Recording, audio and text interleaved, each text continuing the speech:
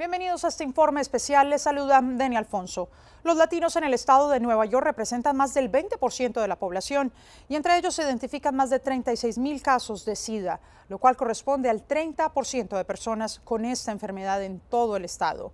Pero para conocer las implicaciones de estas eh, cifras y lo que hacen las autoridades al respecto, nos comunicamos directamente con el comisionado de salud eh, del estado de Nueva York, el doctor Richard Daines. Doctor Richard Daines, muy buenas tardes. Cuénteme, señor Daines, eh, ¿qué está haciendo el estado de Nueva York para que estas cifras no sean tantas y sobre todo que el SIDA no afecte tanto a las minorías? Adelante.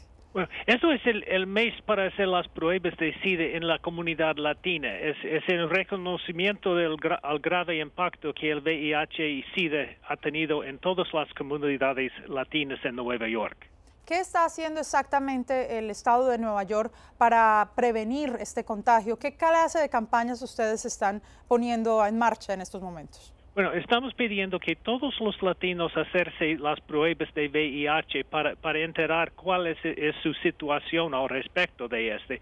Debe, visitar a, muchos lugares donde estamos ah, ofreciendo este examen en, y en cada región del estado tenemos un número que pueden llamar para, para saber dónde deben ir para recibir el examen. ¿Por qué es tan importante que se haga este examen del SIDA, no solamente los hispanos, sino la población en general, eh, señor? Eh, es, para la población en, en, completamente.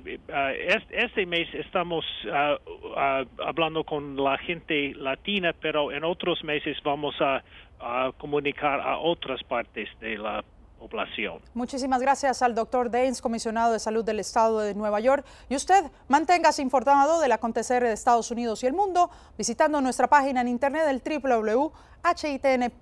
Usted y yo nos vemos en el próximo informe especial. Muchas gracias.